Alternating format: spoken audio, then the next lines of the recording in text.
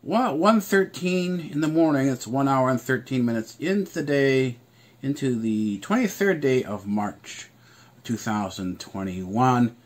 Uh, it's Tuesday, and I'm having some lunch. I had a dinner, well, breakfast, breakfast type of dinner, breakfast for dinner. Actually, no, I had uh, dinner for breakfast. That's the way to say it. Uh, my parents' house, and now I'm having lunch. It's uh, it's, uh, it's about quarter past one in the morning, and I thought now that I've got the new camera set up, uh, the way got the way it's working here, that I would uh, make my sandwich as I'm filming. And this is sort of the convenience the convenience of a short order menu is that you can essentially make uh, good food uh, without spending a lot of money. And that's kind of the goal here is, is that uh, I do have a short order menu, and this is one of the short order menu items that I'm uh, making. It's a, a, sandwich. It's a using a Vietnamese bun. I'll be making a banh, banh mi.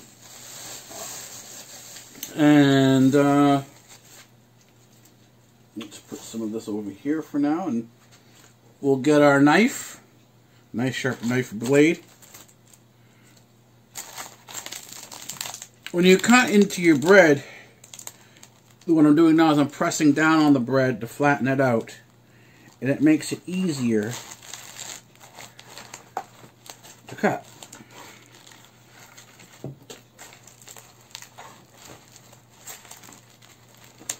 Done that. Going through it very easily.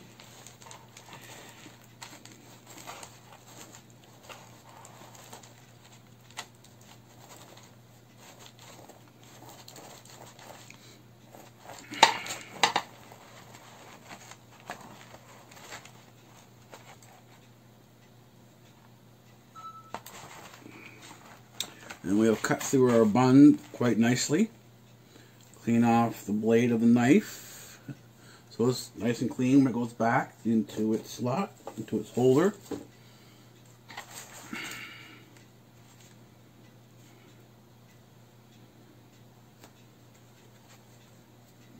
Time to switch things up a little bit.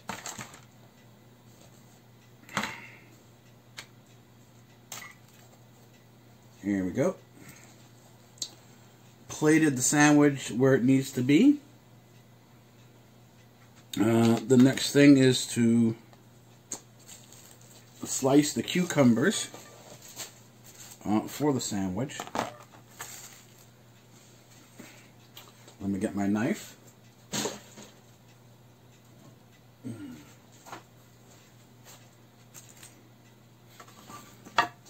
All right, so I decided to put the uh, mayo on first.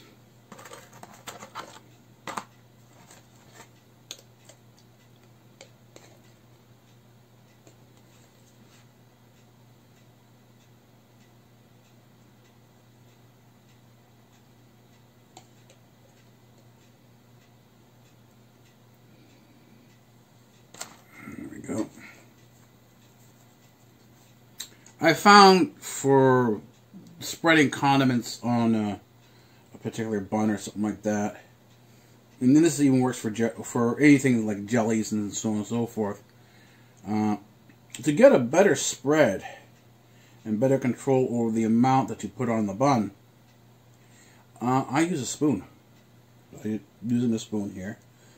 This is a sorry. This is a long parfait a long parfait spoon and uh, let's sort of get this spread out.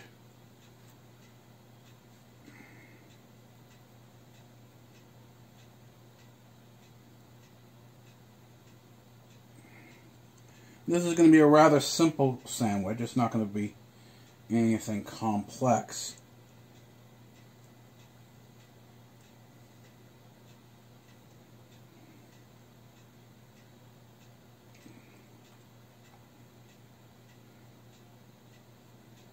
A lot of sandwiches can be very, uh, you know, elaborate. They can be,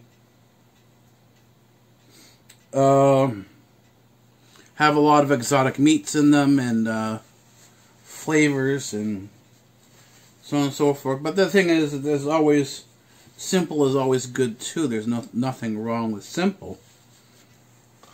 It just again depends on your approach. And for me, uh, in terms of what I like to eat, it depends on my mood. If um, what type of mood I'm in, also the weather. Uh, if it's uh, rainy out or uh, sunny out, these different things, these uh, these aspects uh, play into things.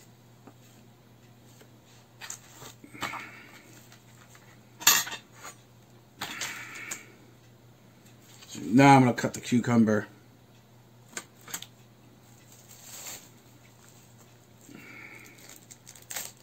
Now I like using English cucumber. Now other people prefer lettuce, I prefer cucumber.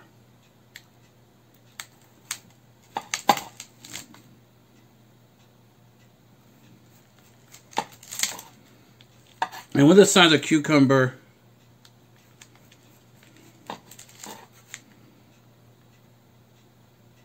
four or five slices usually does the trick. It's sufficient for the sandwich.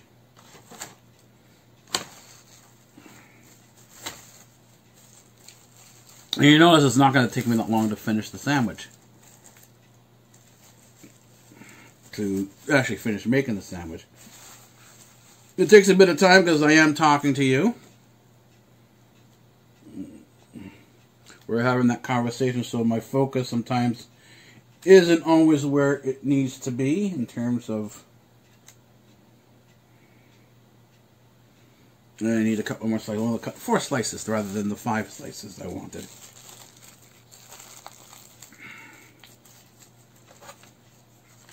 So we'll cut the fifth slice.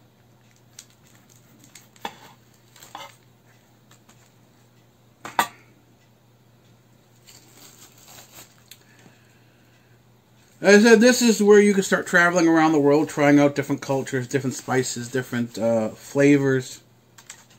Here's the fifth slice.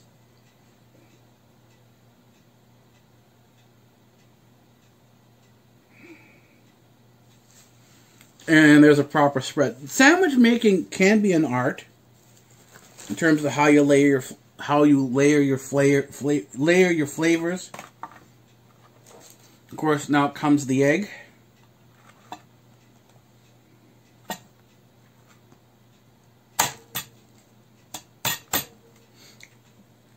And that's why I use the egg machine, as I talked about it before. Well, to make, uh, I make seven eggs at a time. I usually take about two eggs per sandwich.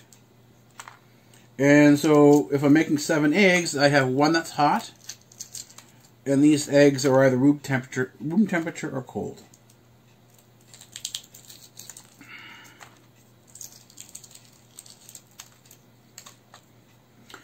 And what happens is the, the process is basically a steaming process. You steam the eggs.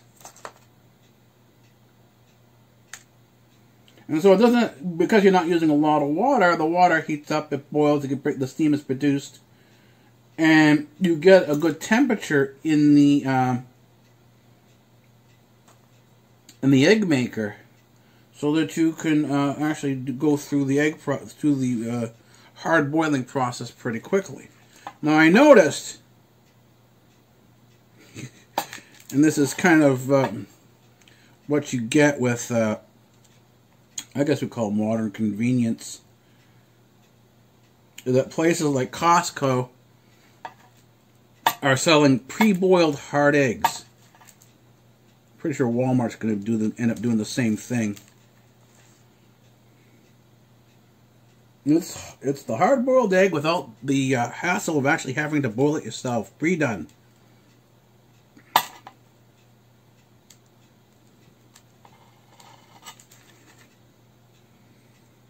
And the thing is, given the number of people who eat out at Chick-fil-A because they don't want to bother cooking dinner. Kind of makes sense. But at the same time, if you're talking about eating healthy, uh, that's going to be kind of problematic because that's not exactly healthy eating. And here there is an art to slicing uh, your your your your uh, food. No, I haven't tried, and I got it. Sorry about that. As you cook, you eat. What I got, bizarrely enough, is this. It's a finger guard, so that when you're cutting, your fingers aren't in the way of the blade. I don't always find it that convenient to do that. I haven't tried it yet, so but we'll see whether or not you actually have uh, something that's worthwhile. I know this, for things that are tricky to hold, like a hard-boiled egg, particularly near the end, there's always a bit of a risk. But if you go slowly,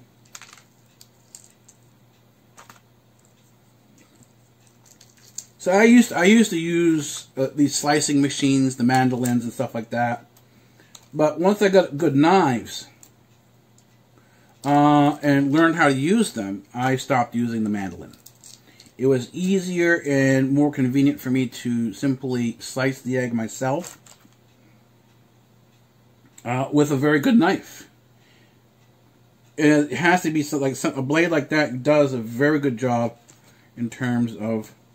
Well, see, I have to hold it. On, I have to hold the egg like this. That's why I want to hold it. So, but so the finger guard doesn't really do anything for me. It's a nice idea, but right now there is no particular issue.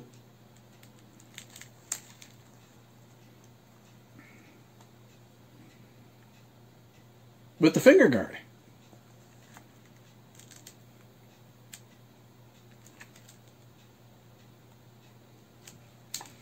And you have to hold it on the, you're holding it on the side so you're not uh, exactly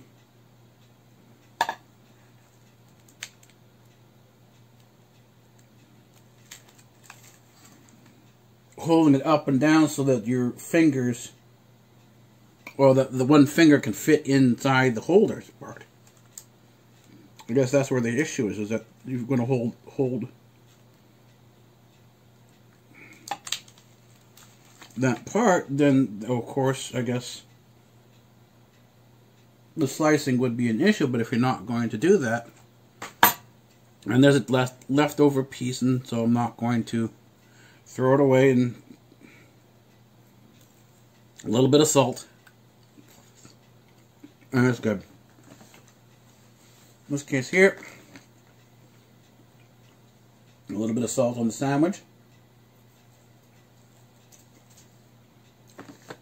And for eggs, I often put in a little bit of pepper. Let me get the pepper mill.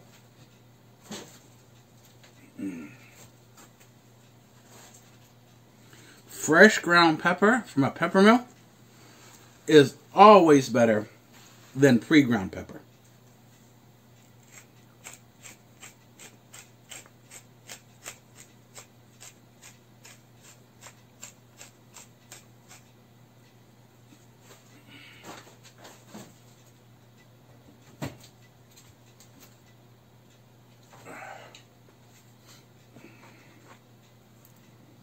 So let's move this over.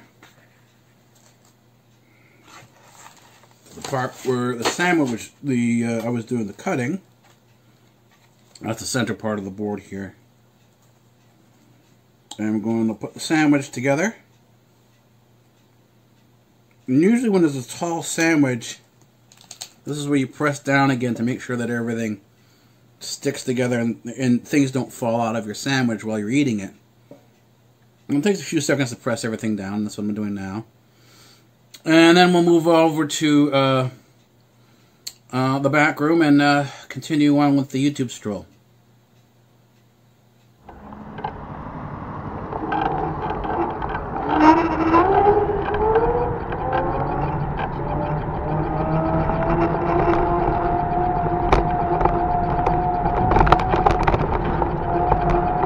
Well, it's 8.30 on the 23rd. I didn't wait for the camera to stabilize, but anyways.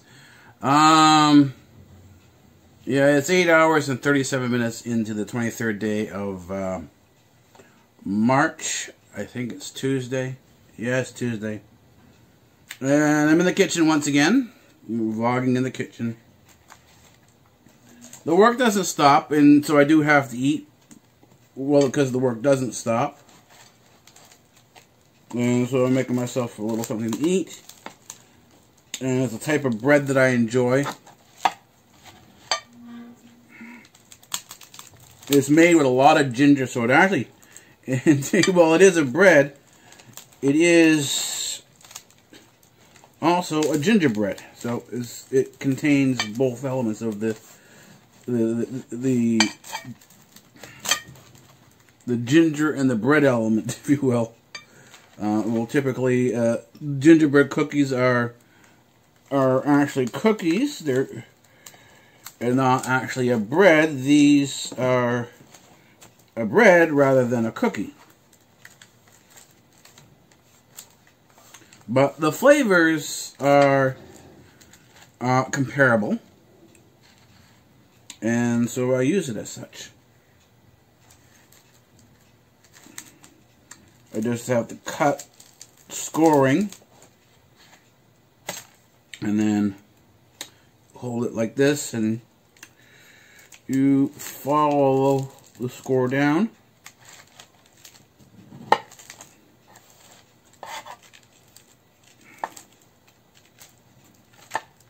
until it comes out as uh, two slices.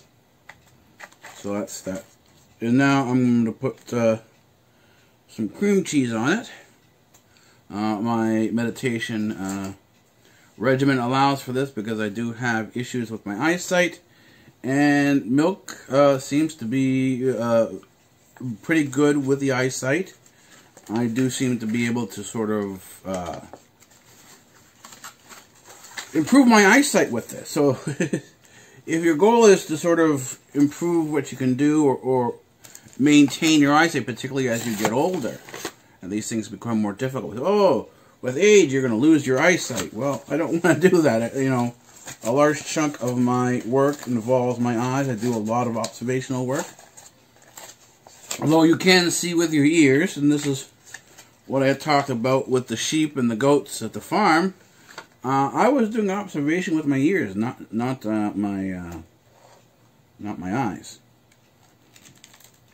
And to my surprise, uh, the sheep were uh, pretty much a lot like people, and without looking looking at them, the behaviors were very similar. They had arguments, they had disagreements, and so on and so forth, and far beyond uh, what biologists would consider to be instinctual behavior or instinctive behavior. This was far from that. These were open arguments that occurred over particular views.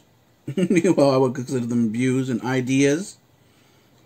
You know, I mean, going over to another field through a hole in the fence that someone had, one of the uh, sheep had found, is an idea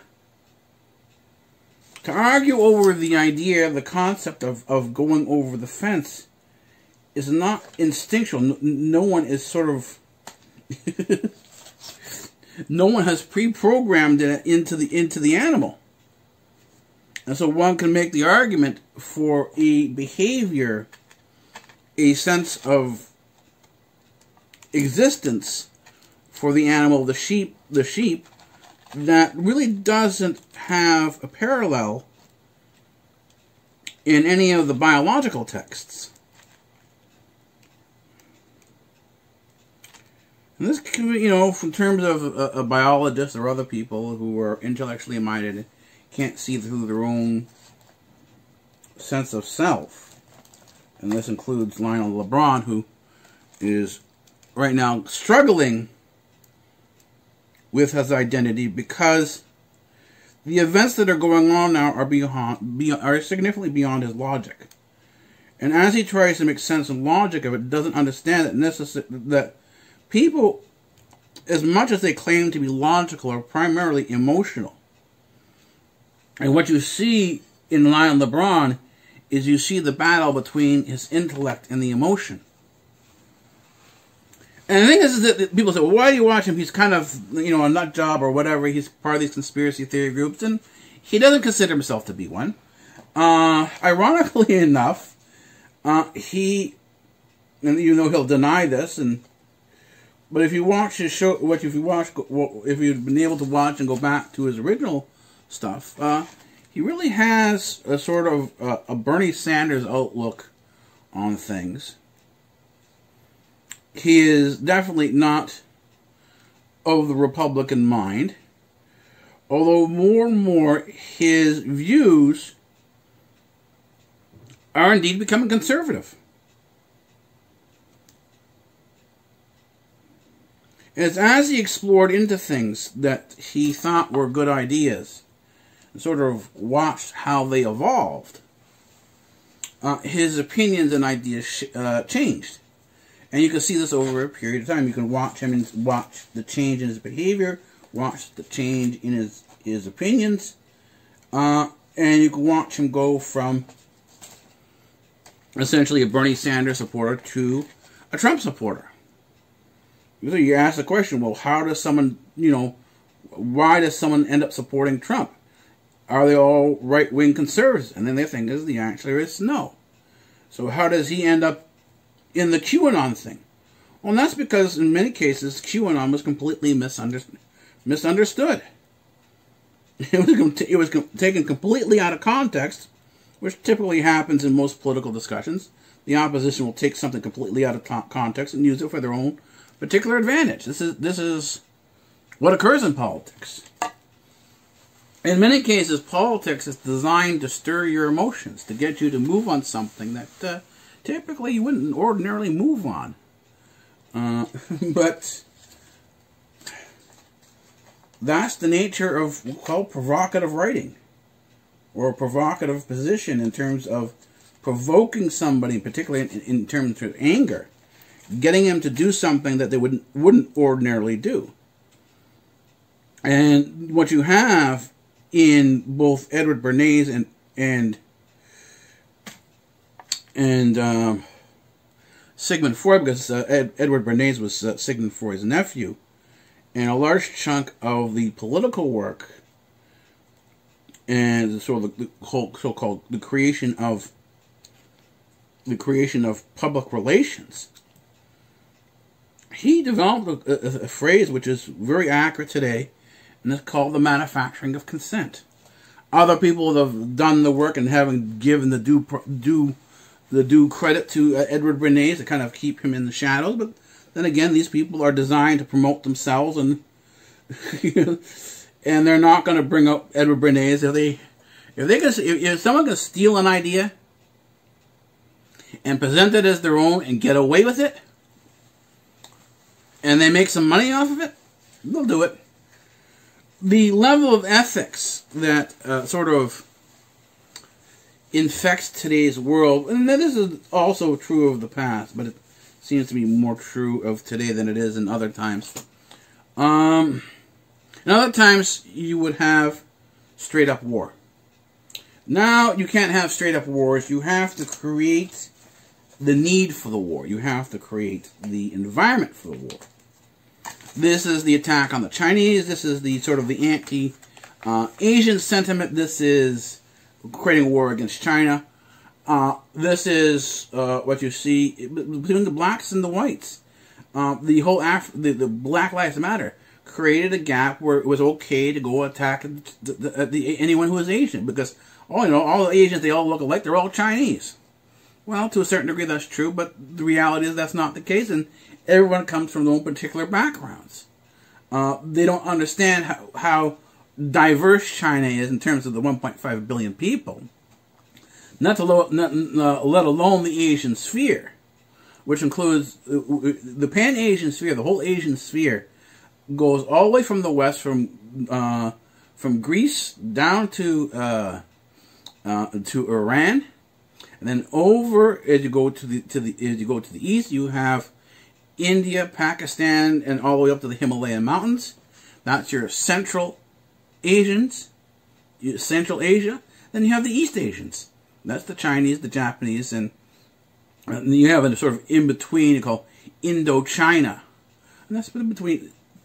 And this is Vietnam, Thailand, um, um, Malaysia, and then of course you have into the Polynesian islands. And again, you, again you have another mix that are, that are there. So it, the world is quite complex. It's not a simple thing, but to, politics tends to simplify it in order to create a view for particular, particularly for war. This is how they get people to go to war. They get people to go to war because they're convinced that these people are your enemy. They're going to attack you. They're going to put you in slavery, you know, into slavery. They're going to do this. They're going to do that. They're attacking other people. We need to go protect them, right? And this is this was actually in Vietnam. Why did we go to Vietnam? We went to Vietnam to protect the Vietnamese. Why? From, from who? From themselves. this is the Western logic. This, is, but again, this is all, in many cases this is a large chunk of, of even ancient logic. When they went to war, you went to war for some particular cause, and it didn't necessarily be, have to be true. The whole crusade was complete work. Uh, and if you go look at it, you see that, that who were they fighting? They weren't fighting the Muslims. They were fighting the Christians. They were, well, you're gonna you're, you're gonna come with us, and we're gonna protect you, but you have to do what we say. This is how how Europe became Europe. Is that the, the, the Roman Catholics conquered everything and forced everyone to convert at the point of a sword. There were other Christian groups before that, particularly the Eastern Christians, but they were all wiped out by the by the Roman Catholics, who said, and the Pope at that time, around 1008 AD, said he was Christ on earth, he was God incarnate, and he forced his will at the point of a sword, and not much different from a jihad. The fact that you know changed the language into to Latin, and you that's what you have. We had a holy war. That's a jihad. It's just different language, different usages. Well, not, slightly different usages, uh, different types of gods, fighting fighting wars in the name of God. So, anyways, uh, done my I've done my uh, food, and now I'm going to uh, go watch some TV.